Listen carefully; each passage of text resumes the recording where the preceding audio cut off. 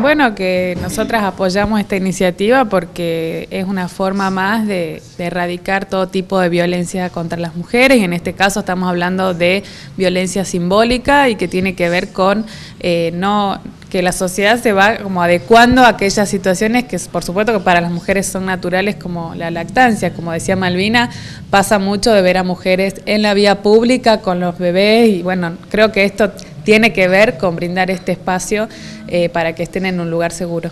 ¿La sociedad salteña todavía tiene algún problema con que haya una mamá que amamante en la calle?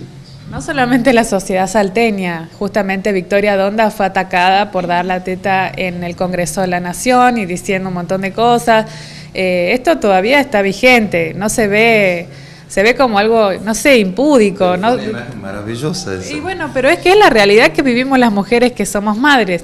Incluso hay como una especie de doble discurso cuando por un lado se, te, se le pide a la madre que dé la teta y por el otro la sociedad no está preparada para recibir eso, ¿no?